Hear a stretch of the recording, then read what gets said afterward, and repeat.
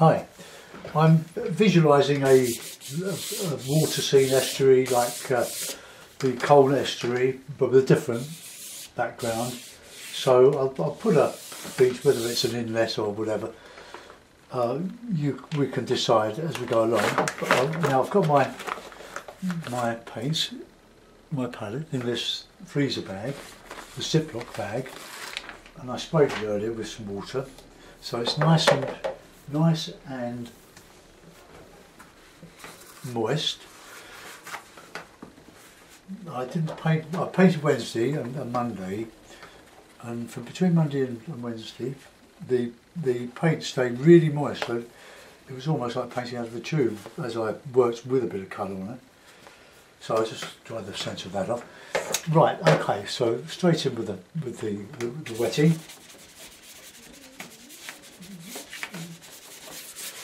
I've got a sunset coming up to demonstrate very shortly. This friend of ours have got a, they're renting a very, very large house near Brighton, outside Brighton. And they're getting these wonderful sunsets at the moment, which, and they want a memory. When they're, they're having their own house demolished and rebuilt in, in their own, their own design. And they're renting this house and they love it. And they've asked me if I would do a picture of the sunset, not the house, I, I wouldn't do that. Once you start doing that, people know how their houses look and, or could you put a rose tree up the front, by the front door, put some columns here, all things that don't exist. And you lose your freedom to express yourself. But some people are good at that sort of thing, I'm not. So that's my excuse anyway. All right. I'll put in a bit of sienna, a nice bit of warm sienna, raw sienna.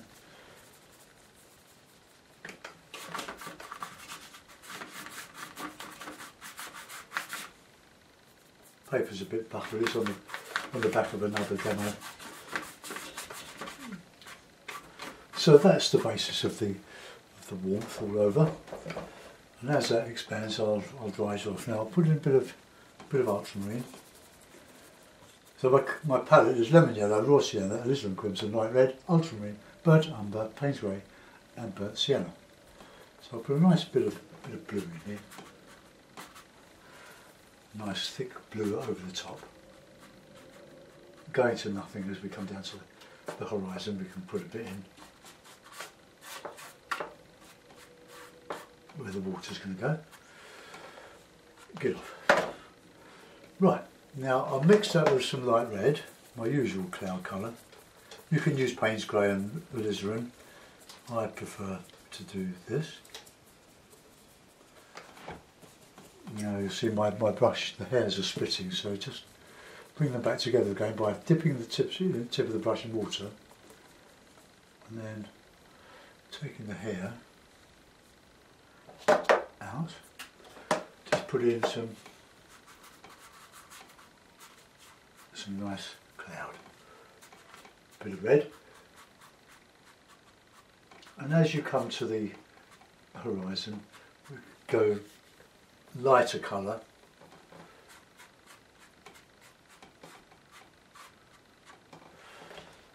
Right, okay, I'll just reclip that.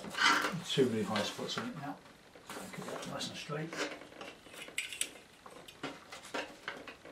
It's a lovely day today, but apparently we're in for a lot of pollution uh, from their own traffic and and from the continent running across the channel.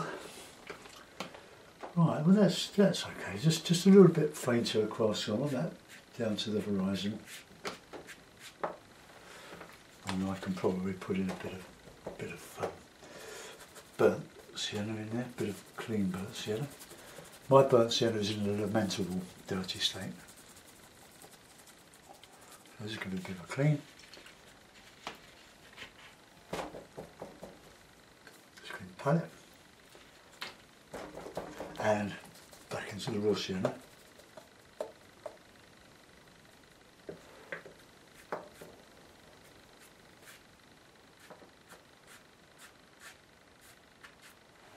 Okay, all in the middle.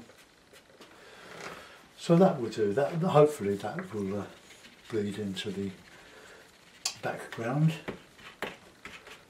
and we'll concentrate on on the background. A lot, a lot of this blue is going to be covered. So I'll put a bit of bit of blue blue in and red as my background.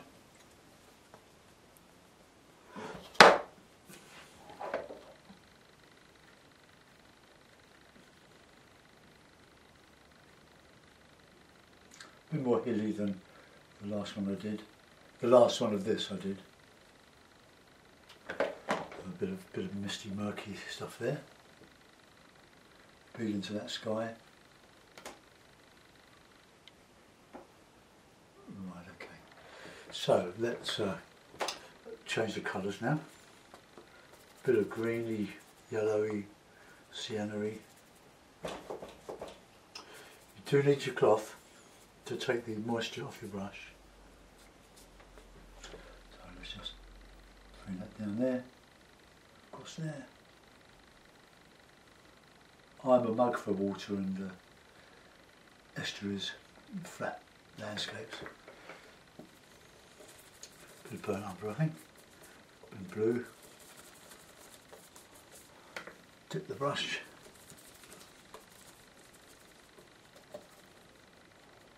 and just get a bit of bit of hard there.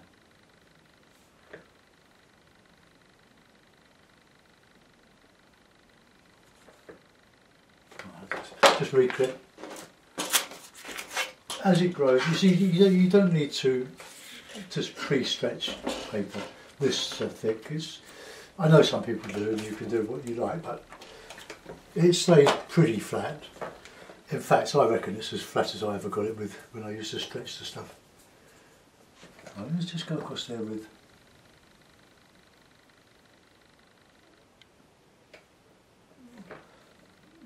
give a bit of variety in, in the shoreline here. And I'll put some heavier. Oh, I've got quite a good uh, horizontal horizon there. Just going up just a touch there, uh, maybe. If you do this and you, you find that you've gone up a bit, you can always put it crooked in the frame, in a mount. Right, let's put in some burnt sienna and ultramarine on the blue side for the distant, some distant trees here.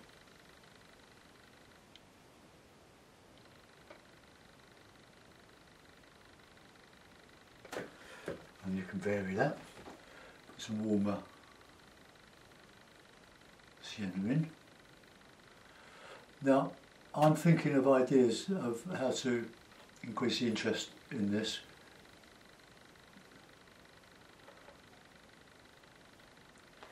By putting another little sort of a beaching coming across here.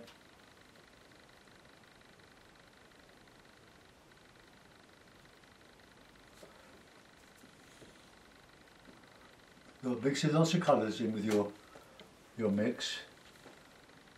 Otherwise, you just get flat washes, which which you don't really want to do. You want some interest, and you just vary it whichever way you can. So that's uh, that's how that coming across there. And we have some bit larger trees coming out from that, or some something like that. We'll, we'll think of something.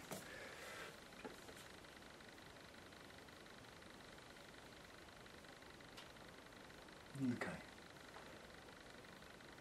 Well, that's where we can put some bits of rock in there. Just little bits. Just some interest on the beach. But nothing more than that, just, just to add a bit of interest on it. Put a bit of green in there, a bit of Payne's grey, a bit of, bit of yellow.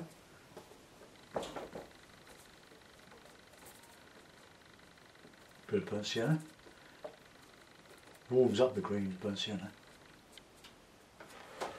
And just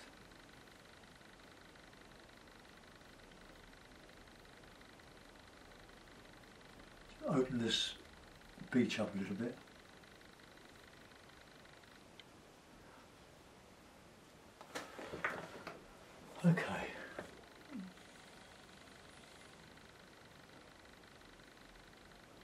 Some reeds. Or marsh grass. Okay, that'll do for that. That's all nice and delicate. Got more to do on there, but I just put this little beech in here now. So I'll, I'll have really nice warm colours. So I'll have red, burnt sienna, burnt umber, and just push it in. Bit of red in there, bit of, bit of yellow, bit of burnt sienna, bit of Payne's grey.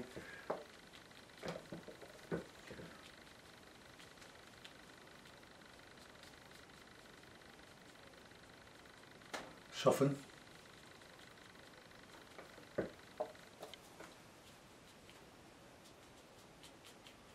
And I can go over that with some texture. This is not going to be dissimilar to the one I did last week. I think it was last week, the time goes so quick. Leave some of this marshy stuff open so the sky is reflecting in the the great beyond. Grassy colour. Just touching the hake, at all those little separate bristles.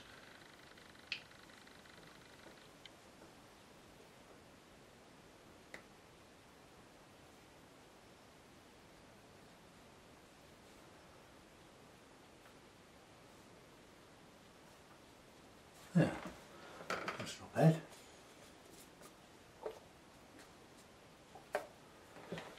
Just go a bit higher there. I'm going to cover some of this up with a, a bank of something like. Okay. So we'll, um, I'll put in some darks in there, some dark greeny stuff.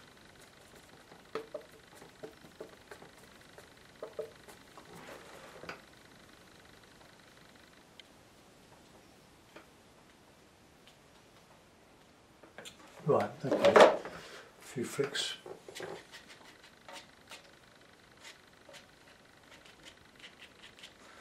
Too much. Very easy to get carried away. Right, now we'll put in some nice dark, rich dark colours there. Burnt umber, burnt sienna, Payne's grey,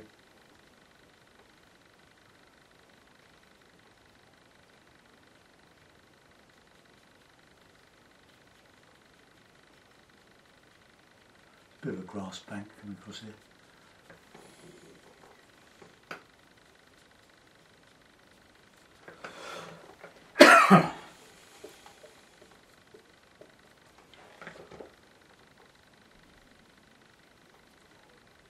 oh, just bits of interest. Try to avoid mon- monotony.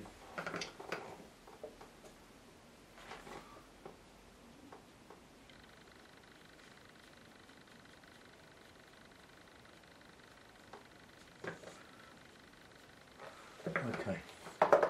Right. Now, I'm going to put in some a tree there as I did before. These all end up differently, so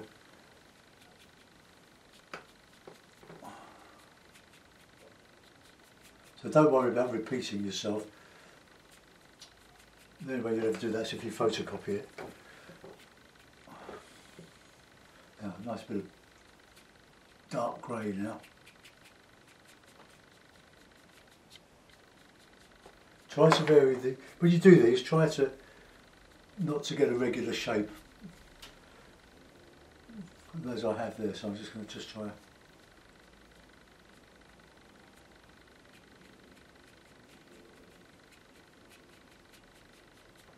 Right, now a bit, bit more greeny, grey.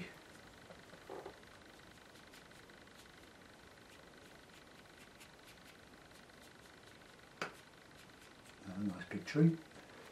Going all over the place, let's just put some hedgy stuff for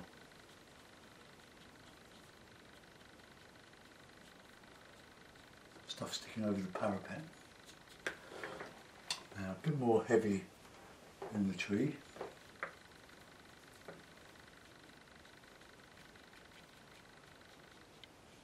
Be lighting my barbecue soon. Do some lunch with uh. And if I do another one this afternoon, you better smell the garlic.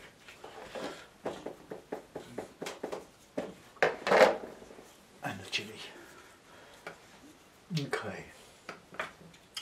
Now, st- still, I see, st- now, I see still going uphill there, so I'm going to have to change change that. A bit of warm sienna and the two siennas.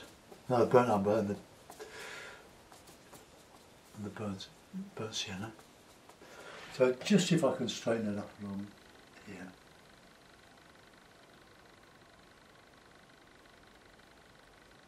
Sort of a beach. Uh,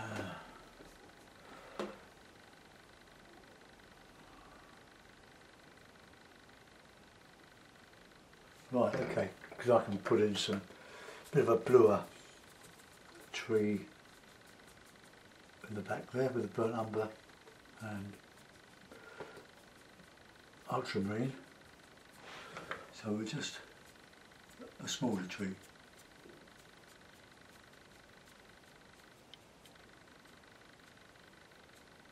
Come down into that.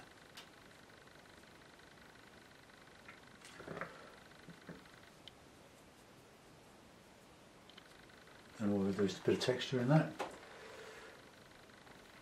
Uh, that really probably could come a bit near, a bit nearer, so I'll just make it a bit larger on the top.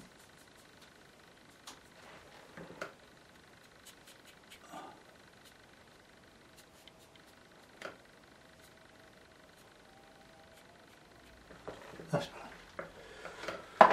Clean the hake. Now we've got to do the detailing. A bit of detailing, not a lot. Uh, there we go. I'll, ju- I'll just dry the trees off, so just hold your, your ears or take your headphones off. Ready, go.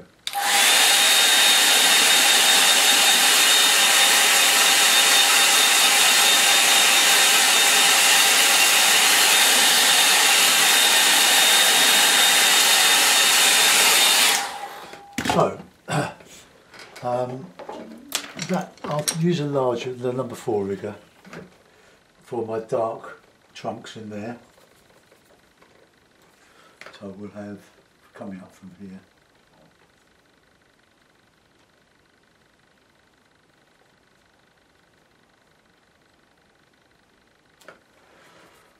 Can get quite a big mark with this brush.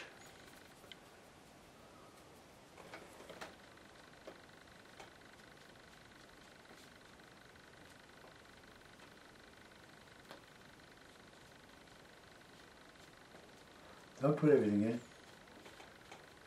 Just a just a bit. a little bit says there's a lot. I'll strengthen up this here.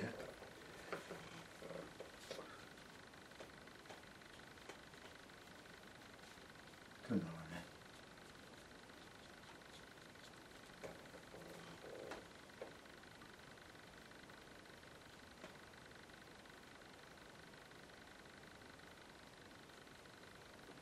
Right, nice warm dark.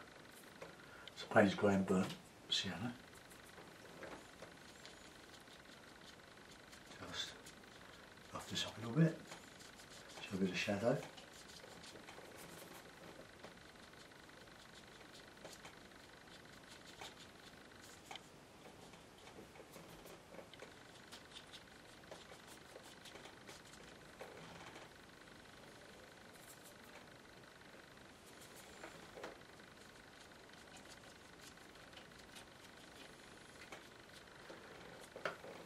Sorry, Freddie hasn't been around for a while. He's playing with Elsa in the garden. That's the cat next door. Just, just a few flicks and flies there. Just a little bit more.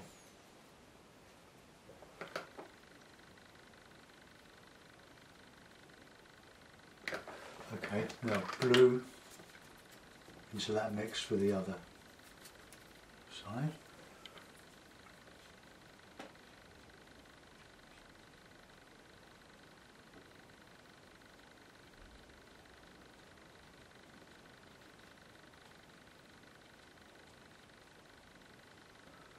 That'll do, nothing more, more than that. Right, let's get in some bit of detail in the foreground and we'll see what else we can put in to liven it up a bit. Some little rainbows and yachts stuff. Usual stuff. Okay, what does it look like on the screen? And not too bad. Right, okay, a boat brush. Throw a blue brush out, I think.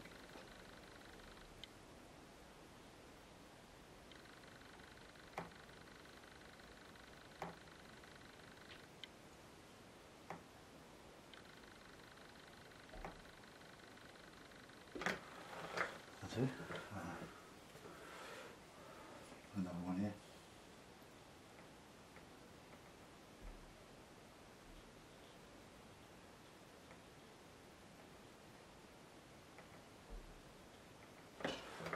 Okay.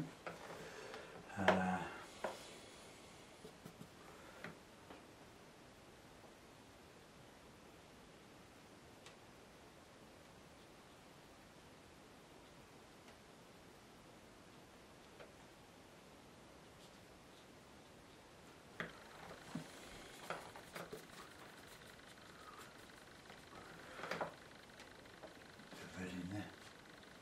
Just a few boats at anchor.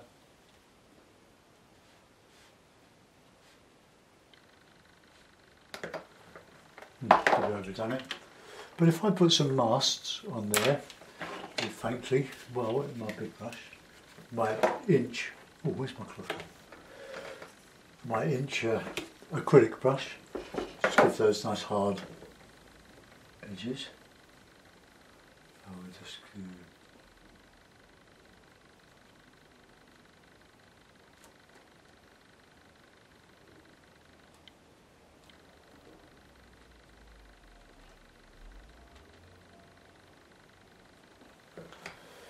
Okay, a bit naff there. Oh, right, yeah, we need a bit of a. Oh.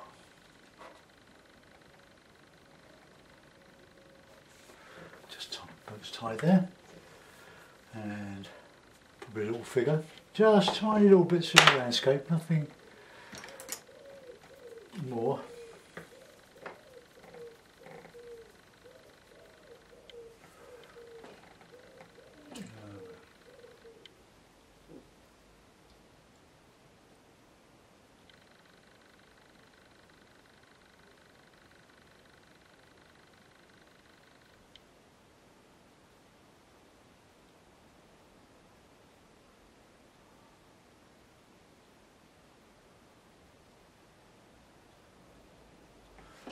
Oh, that to sign it and go like my charcoal. I wish I signed. I'll sign it. Mm, I never sign there, but I might have to.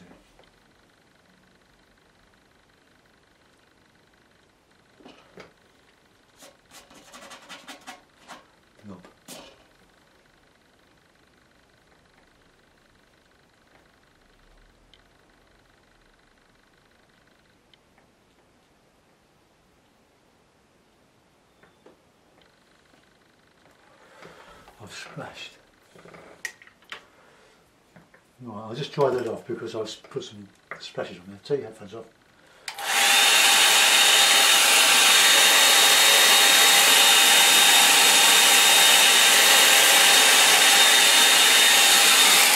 I'll use the uh, the lighter coloured mounts, the ivory mount, and see what we've done here. Probably have to be a bit, bit, bit stronger in there. Uh, but let's look. Well, there we are. We've got a, a simple estuary scene. I, I think the background's come out quite well, actually. Um, got enough interest in there to just just little focal bits, overdone the boats. Anyway, I hope you enjoyed that. Let's zoom you in. Camera around, turn around, and zoom. Right, let's go to that side where the big tree is. This is my marsh grass.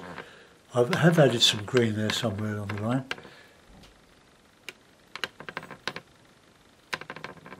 And we come up to the distance there. We'll go across the horizon, see what we've done there. I suppose we could put some little buildings in there, really, but could do, couldn't I? Okay, let's take you out. I'll, I'll uh, get a building brush. And in that bare area there I'll just see if I can just put in some very light grey. Some buildings. A bit darker than that. But I want them to show but I don't want them to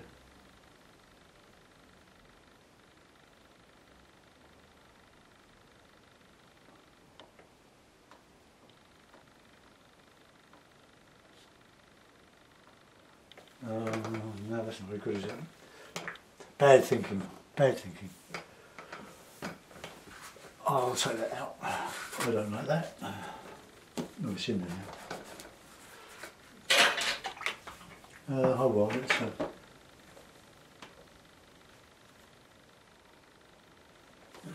so I can blot it out a little bit. It's a good idea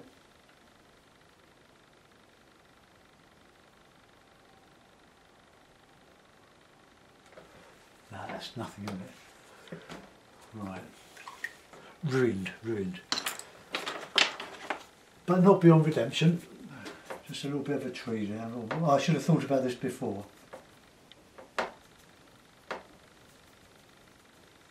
So we just